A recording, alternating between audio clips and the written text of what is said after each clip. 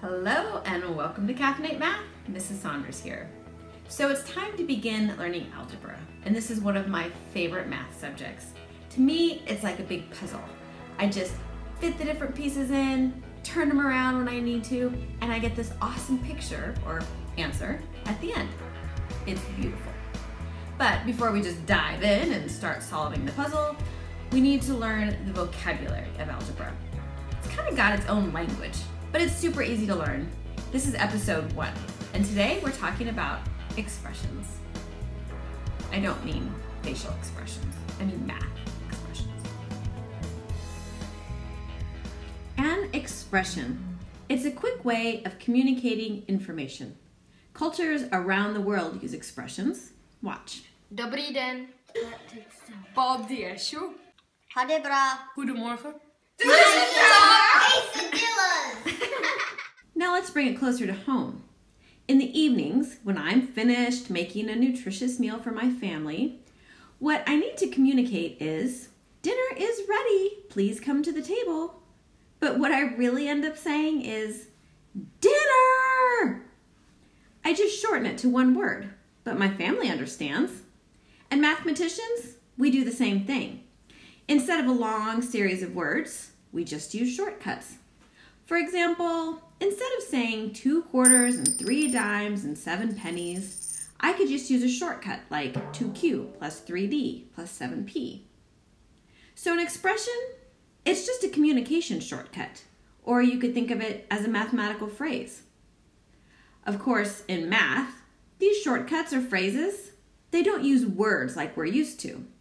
Math phrases use terms. A term, it's like a math word. It can be a number, a letter, or a combination of the two. Watch. A term can be just a number, like 7 or 24 or 135.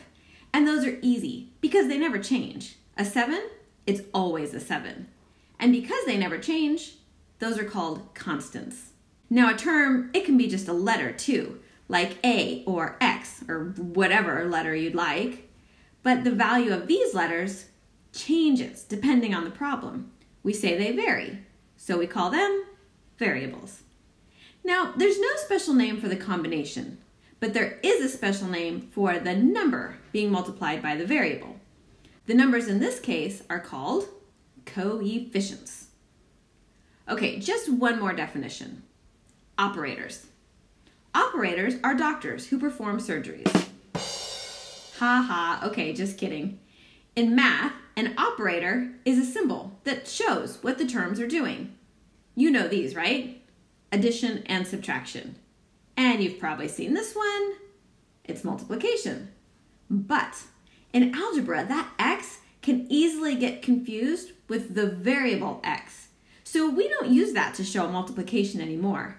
Now we use a few other things like just a dot, or we shove things close together like a times b or 4 times y. Or if something is close to a parenthesis, then it's multiplied, like a times b or x times 4 plus y. Division, that's less complicated. It's the good old division sign and the fraction, like here's a divided by b or 8 divided by y. So that's it. Those are the operators. We've covered a lot of vocabulary today. Expressions, terms, variables, constants, coefficients, and operators. I think that's enough for now. But stay tuned for episode two. And spoiler alert, that's a short one. See you next time.